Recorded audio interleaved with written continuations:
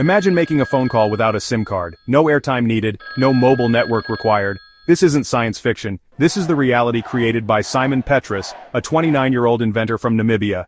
Simon has crafted a device that redefines communication, particularly in areas starved of connectivity. His invention holds the potential to revolutionize how we connect, especially in rural communities across Africa. With this groundbreaking technology, Simon is bridging the digital divide and bringing hope to underserved regions. Simon's journey began in a small Namibian town. Resources were scarce, opportunity seemed even scarcer, yet Simon possessed an unyielding curiosity and a knack for tinkering. He would spend hours disassembling old radios, fascinated by their components. He dreamed of building something new, something revolutionary. Using scraps and discarded electronics, he began piecing together his vision. His workshop wasn't a gleaming laboratory, but a humble corner of his home, brimming with ingenuity. Growing up, Simon faced many challenges. Walking miles to school, he was determined to learn. Despite the hardships, his passion for knowledge never waned. Simon's invention utilizes radio frequencies to transmit and receive signals. Unlike conventional mobile phones reliant on extensive network infrastructure, his device operates independently.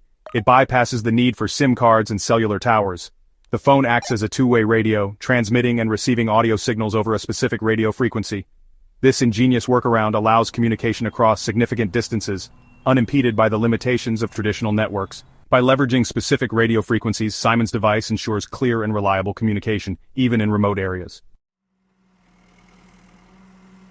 Simon's path to invention was paved with challenges. Financial constraints and limited access to materials were constant obstacles. Undeterred, he persevered, fueled by his unwavering belief. His talent couldn't be contained within his small town, he set his sights on a national science fair, a platform to showcase his creation to the world. His invention, a testament to his dedication, earned him first place, captivating judges and attendees alike. Simon faced numerous setbacks, from broken circuits to failed prototypes but he sought guidance and kept refining his work. His resilience and support from his community played a crucial role in his success. Section 5. Unveiling the Innovation the phone itself is a marvel of resourcefulness. Housed within a sturdy, hand-built casing are the circuits and components that defy expectations. A simple microphone captures the user's voice, converting it into electrical signals. These signals are then modulated and transmitted as radio waves via an antenna.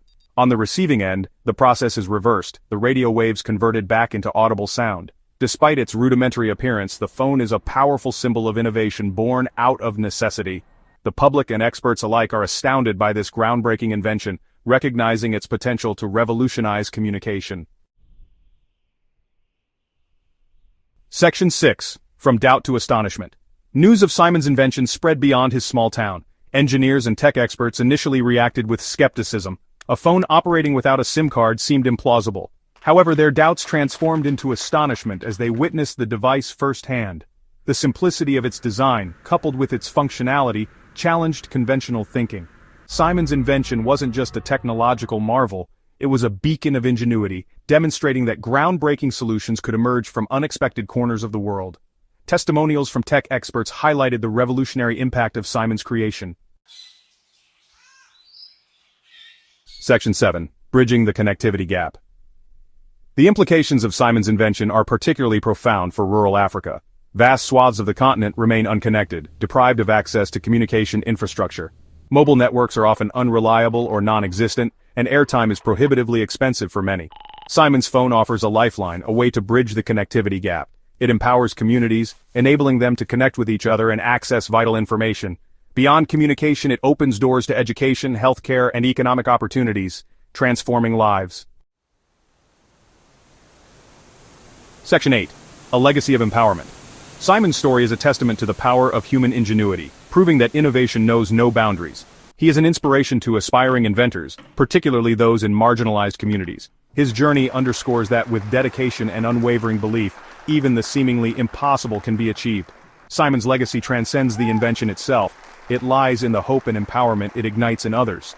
His story has sparked a movement, encouraging countless individuals to pursue their dreams and innovate for a better future.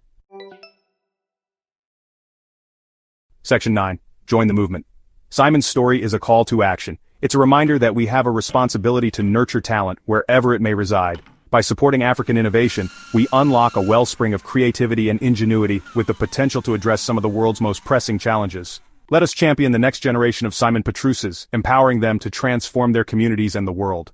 Support African innovation by sharing stories, investing in startups, and mentoring young talent. Together, we can make a difference.